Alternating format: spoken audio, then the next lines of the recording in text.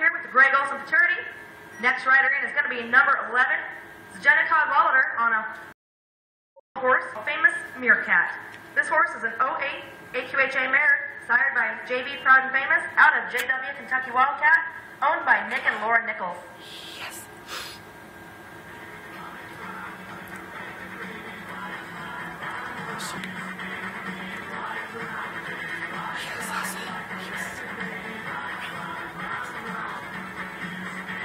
Wow, Jenna, that's an awfully nice routine. 450. Woo. One